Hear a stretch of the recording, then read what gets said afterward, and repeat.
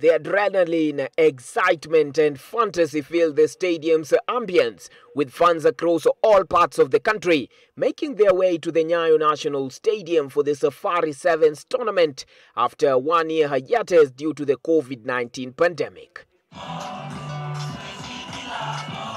With no doubt, every team brought its A game, evident from how they played to get the much needed points on the board.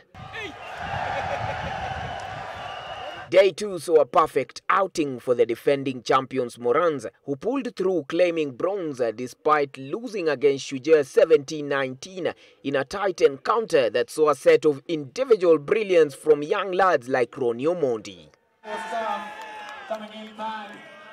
Yesterday we started a bit slow, but uh, we managed to pick, ourselves, to pick ourselves up and uh, we go again. We did again today. And uh, we ended up uh, winning the bronze. So it's been ups and downs, but we managed to clinch something at the end of the day.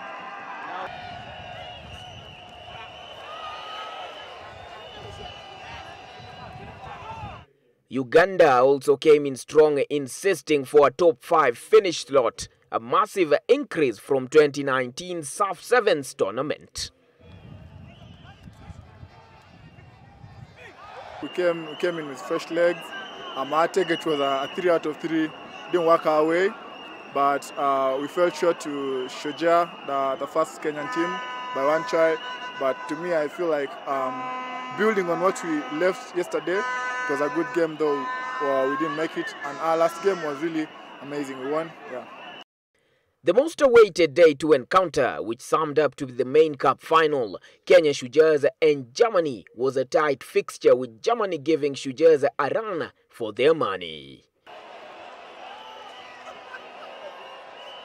With the help of the hard-running Alvin Otieno Bufa, Shujaa managed to pull in a late-minute try, putting the match to a close 12-5 in favor of Shujaa.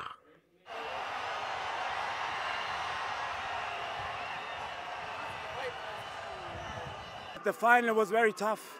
I mean, it was a close game. This time, Shujaa had the better of us, but hopefully next time us. It's going to be great fans, great atmosphere, very nice people, and that's how we felt this weekend. Welcomed and just great rugby atmosphere.